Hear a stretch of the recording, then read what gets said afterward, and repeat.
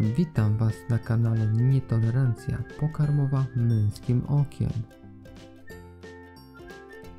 Przepis nie będzie zawierał alergenów, które ikony właśnie widzicie na ekranie.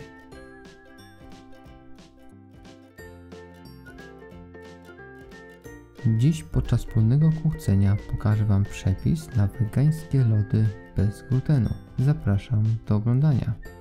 Do ich przygotowania będziemy potrzebowali 4 banany, 500 ml napoju ryżowego, 250 g truskawek, 250 g borówek oraz foremki na nasze lody. Banany obieramy i kroimy w plasterki. Następnie nasze truskawki myjemy i kroimy na mniejsze kawałki. Do robota wsypujemy truskawki,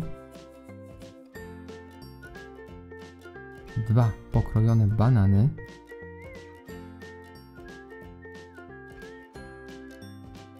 dwieście pięćdziesiąt ml napoju ryżowego i całość miksujemy. Następnie przelewamy do naszych foremek.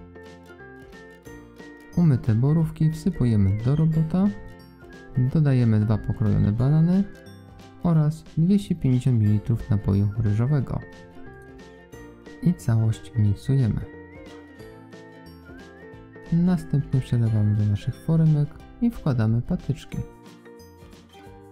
Tak przygotowane foremki wkładamy do zamrażalnika na kilka godzin, najlepiej na całą noc. Jeśli lody nie chcą nam wyjść z foremki, możemy je na chwilę zanurzyć w ciepłej wodzie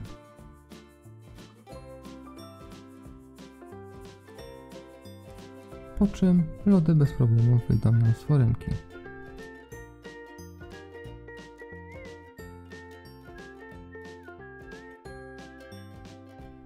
Jeśli wypróbowaliście przepis i spodobał się Wam, wrzućcie zdjęcie na Facebooka lub Instagrama z oznaczeniem mojego profilu.